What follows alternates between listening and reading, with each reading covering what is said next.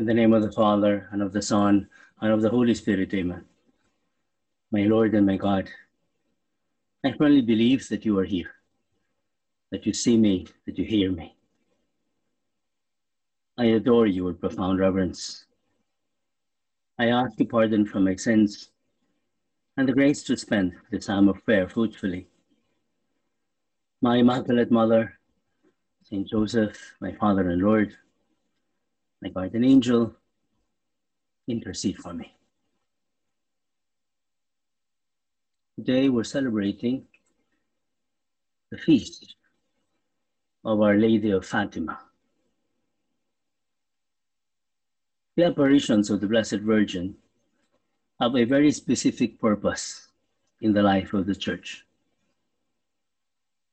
They serve as visible signs of her motherly love in, particularly difficult times in the lives of men.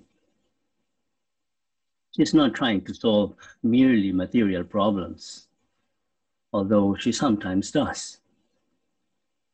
Rather, she's seeking the conversion of souls. Sometimes, when men appear to be hardened in sinful ways, the Blessed Virgin makes an extraordinary intervention, like a mother who uses all the means at hand to move her children to repentance and to lead them once again to Jesus Christ. One of these maternal interventions by Our Lady took place precisely on the 13th of May in 1917, more than a century ago. On that day, the Blessed Virgin chose to reveal herself in Fatima, in Portugal, to three shepherd children in a place called Cova de Iria, or Cova de Iria. In the following months, until the 13th of October of the same year, Our Lady returned to the same place, instructing the visionaries of simple shepherds about the need for reparation for men's sins and confirming the truth of the apparitions with a memorable miracle. As you know, it's up to the church to assess and judge private revelations by their conformity with the deposit of divine revelation. In other words, anybody can claim a revelation, a private revelation. Anybody can claim a supposed miracle. But it's up to the authority of the church. Why? Because Christ said so. You remember what he said to Peter? Whatever you bind on earth shall be bound in heaven. Whatever you loose on earth shall be loosed in heaven. He was addressing Peter. He wasn't addressing everyone, not even the college of the 12, specifically Peter, because the church is monarchical. It had to be that way because Christ, or one would even say that God is one, and it is God's church. So it must be structured, structured in such a way that there's one supreme authority. Technically, that's God. But since we're human beings in flesh and blood with senses, we need physical manifestations of the will of God, so to speak. So there has to be a visible human authority. When Christ was around, he was that authority. But he knew he had to ascend to heaven. So he had to leave behind somebody who would stand in his shoes. And that was Peter. Thou art Peter, changing his name from Simon to Cephas, meaning rock, Petrus. And upon this rock I will build my church, and the powers of hell shall not prevail against it. And I will give you the keys of the kingdom of heaven so that whatever you bound on earth shall be bind on earth shall be bound in heaven, and whatever you loose on earth shall be loosed in heaven. The teaching authority of the Pope, the shall we say final arbitration, which is the Pope. Above the Pope, there is no higher recourse on earth. And finally, his governing power. To exercise governance over the people of God in order to dispose them better, to be able to be taught better, and to receive the means of salvation better the Word of God and the sacraments. And so it had to be the authority, the supreme authority of the church, who would who who will have to establish whether a miracle is legitimate, whether even a, a, a private revelation is legitimate for public consumption. There's a difference between private revelations and public revelations. You and I, every time we pray, we receive private revelations. What, else will you call the, the lights that you receive in prayer, the inspirations that you receive in prayer? If those are not revelations from God, then we're wasting our time in what we're doing here. We dialogue with God to get enlightened. We talk with our Heavenly Father to get our marching orders to know how we are going to live this life. But that's private revelation. That's for our own consumption, our own individual good. A different matter is when a revelation becomes for public consumption, in which case for it to be for the good, the common good, then the one who was in charge, who was charged of that common good, must decide. And that precisely is the Pope, the supreme authority of the church. And how does he decide? Because he likes? No. There are indicators, there are standards and the number one standard is whether that private revelation, now becoming public, before it becomes public, is in fact in agreement with all the rest of the revelation, because God cannot, cannot contradict himself. There can't be a new revelation that contradicts a previous one. God is consistent. And that's the reason why even the, the magisterium of the church, the councils throughout the ages, they do not contradict each other. Even if sometimes people speak of the evolution of dogma, that evolution is a homogeneous, a homologous evolution. It's not a change of dogma, it's not a change of doctrine, but rather just a, a reformulation in the same direction, but quote into the language that is more proper of the time. That's how the councils work. And that's how this authority regarding apparitions of Our Lady also work.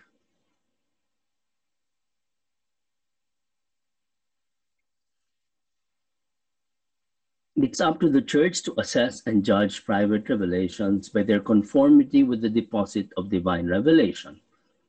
And it has accepted the message of Fatima, which presents one truth and one message, which in their essential content are the truth and the message of the gospel itself. And what is that? It's the call to conversion. Because Jesus Christ himself taught that.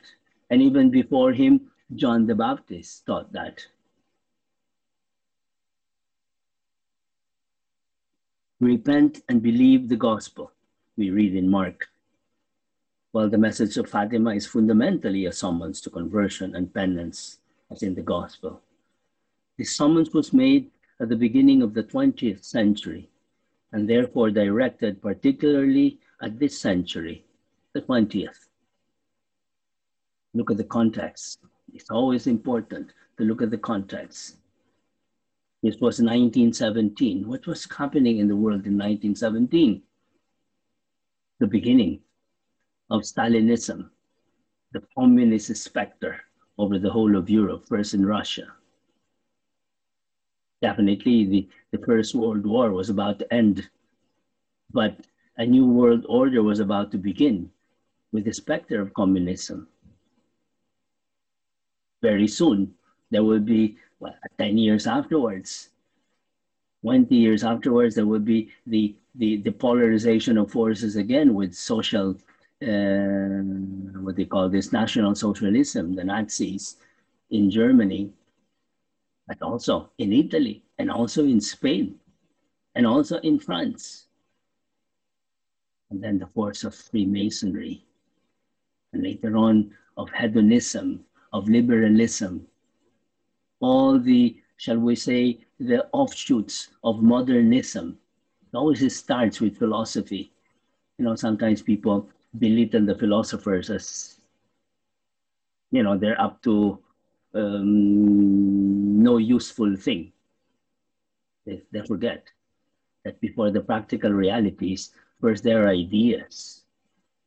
And the, the direction of the development of the world, the direction of civilization is decided by philosophers first before they become political thought and practical economic policies. That's why the era of modernism, which actually can be traced back to the 13th century or 14th century with nominalism, and then the Cartesian cogito, and then the Kantian um, a priori forms, etc., etc. It's a very interesting field of investigation, but that's not what we're after now. Suffice it to say that the 20th century started with this specter of these great philosophical errors that was leading men astray, entire nations to abandon Christianity. Now, Blessed Mother was concerned and was calling everyone to conversion. Feast day too comes to mind something which is quite close to my heart. Because on the 13th of May, 1981, there was an assassination attempt on now Saint John Paul II. I was in Rome at that time studying theology in preparation for the priesthood. And I remember that day how shaken everybody was in the weeks that followed afterwards. In the whole Catholic world, but more especially in the Eternal City, was holding its breath, attentive to what was happening with the Vicar of Christ, who suffered and suffered a lot. One thing after another. First, the, the, the initial attempt then getting well from that, a secondary infection. And after that, another one. There are those who say that that assassination attempt took easily 10 years of his life, from his life. You will remember, those of you who were old enough, when he was elected, he was still skiing. In 1980, when I went to Rome, that's just two years after he was elected, he was such a, a strong, vibrant pope he was still skiing. And there was that time when somebody asked precisely, you know, is it proper? Isn't it um, demeaning for the uh, Holy Father to be skiing? You know what his answer was? A flippant answer, but makes sense. Only if he skis badly, he said, because he's, he skied well. He was a sportsman. Well, they took away 10 years of his life with that assassination attempt. But what was his attitude to it? Total abandonment in the hands of God. Total abandonment in the maternal hands of Our Lady. Totus tuus ego sum domine. Totus tuus ego sum domina.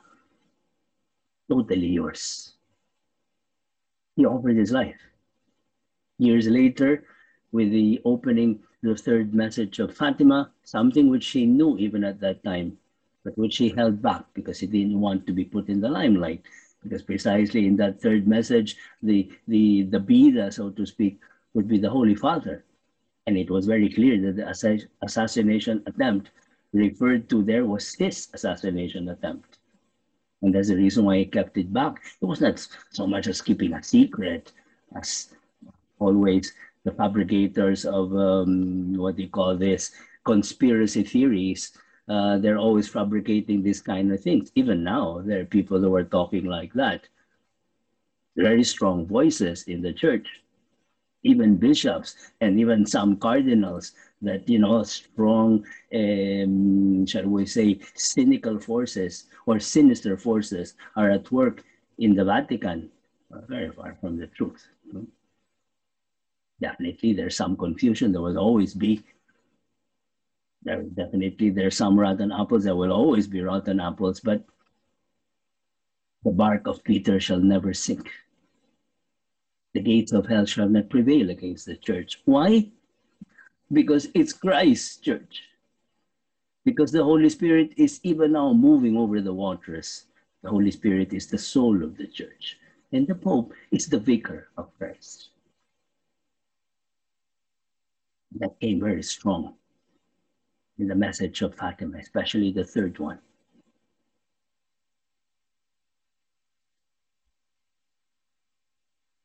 In her apparitions at Fatima, the Blessed Virgin insisted on the urgency of making reparation for the sins which are committed throughout the world. In the third apparition on the 13th of July, the shepherd children say that she asked them for sacrifices for the conversion of sinners. At the same time, she showed them the torments suffered by the damned. And in August, she once again insisted pray, pray a lot, and do sacrifices for sinners. Because many souls are going to hell because they have no one who sacrifices himself and prays for them. You know, this, shall we say, revelation of the souls in hell so moved those children, especially the youngest one, who was just a very young boy, who was actually moved to do penance, to do reparation very harsh ones because he was really horrified at what he saw. Sometimes there are people who go through life with nonchalance, with, with, with nonchalance, committing sins, or not caring about prayer, about uh, confession, with, I don't know, some kind of a reasoning that God is good. He couldn't, he, he can't possibly punish us that way. How many times I've had to explain this? God doesn't really punish. But he cannot, shall we say, break the rules that he has established himself. He cannot prevent the natural, shall we say, consequences of our free actions. Just cite as an example. If somebody jumped from the 10th floor of a building the fact that he will be dashed and converted, converted to ketchup when he lands on the sidewalk, is not a punishment from God. God established the law of gravity from the beginning of time, and he's not going to break it just like that. Because by breaking it, if he suspends the law of gravity, so many other things will suffer. Innocent people will suffer everything depends on, on, on gravitational forces. So to suspend it just so one person who, who, who jumped from the 10th floor of a building doesn't get squashed when, uh, or smashed rather, when he lands on the pavement below, it's not logical. And that's what happens in the moral life too. Remember, we had considered in one of these meditations in the past that hell is not really a punishment, but rather is the logical consequence of a life led not facing God, because hell consists in the loss of God. And the greatest suffering of hell is that loss. Why? Because the human soul, the human spirit is made for God. It's made for relationships. It's made for the good and the highest good because the soul is capable of the infinite and hell is the exact opposite of that. A life of, shall we say, consistent selfish choices, egoistic choices, ends up in the most radical egoism, which is to be isolated by oneself. A life of forsaking the good that is God, the absolute good, the greatest good, the highest good, ends up in the eternal loss of Him And that is the main punishment of hell. God did not ask anyone or force anyone or even maneuvered anyone to go to hell. Every soul in hell, in that state, are there or is there because of free choice. A free choice throughout a lifetime, which was filled or full of opportunities for repentance. And this is what our Blessed Mother revealed once more in Fatima. She was calling on her children to repent, to mend their ways. At the beginning of the 20th century, which was a century as we, most of us, have witnessed later on, would be fraught with all kinds of aberrations. The 20th century has two world wars, had two world wars, right? There's no other century that had that. The 20th century was Marxism, the Stalin pogroms, Nazism, the the the um, what do you call this? The genocide of Pol Pot, the uh, ethnic cleansing of uh, the Balkan and and and and, and Serbia and uh, Herzegovina, ethnic cleansings in in Africa. 20th century was the worst century in a worldwide scale. And that was what the Blessed Mother was warning her children. Mend your ways. Repent because you're walk- walking towards a precipice. And we did not listen. That's the reason why there was a second First World War. That's the reason why there was a Second World War. That's the reason why there was a Vietnam War. And there was a Cold War. And that, all these other things of contraception, of divorce, abortion. And now we have all this business. Uh, well, it was still in the 20th century when we had the the um, AIDS, and then all these gender uh, problems that we are uh, in right now. God only knows what the 20, 21st century has in store for us. Rightly, it has started pretty strong. This pandemic, what more are we waiting for before we can really be converted? It is in, in the light of maternal love, John Paul II has stated that we understand the whole message of Our Lady of Fatima. What is most directly opposed to the path of man towards God is sin, perseverance in sin. And the Pope added, in the act of consecration to the Immaculate Heart of Mary, which he read before the image of Our Lady, what pain we feel, he said, therefore, for everything in the church and in each one of us which is opposed to sanctity and to this consecration what pain we feel that the invitation to penance, to conversion, and to prayer has not been welcome as it should have been. What pain we feel that many participate so coldly in the redemptive work of Christ, that we make such a small contribution in our flesh to the debt which the afflictions of Christ still leave to be paid. He's talking about co-redemption. He's talking about the need to um, add, to fill, to complete with their own suffering, with their own sacrifice, with their own work, whatever may have been lacking, of subjectively speaking, to the sacrifice of our Lord in the cross for his body, which is the church. These words of St. John Paul II should ring in the hearts of all Christians, but especially in those of us who truly wish to have a priestly soul. And not this alone. They should move us to make very specific resolutions to make atonement to our Lord with our whole life. We have to. We have started the month of May, a Marian month. The Holy Father invites us to make pilgrimages, pray the Rosary, to go to Our Lady once more, to ask our Lord to have mercy on His church, to have mercy on all souls, to put an end to this pandemic.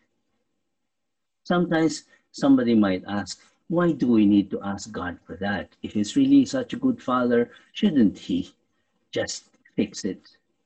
And the answer is very simple. Because in the divine logic, in the economy of salvation, all the good things that God does, He wants to make us participate in. In other words, there's no doubt in, in His mind that He's going to fix this pandemic.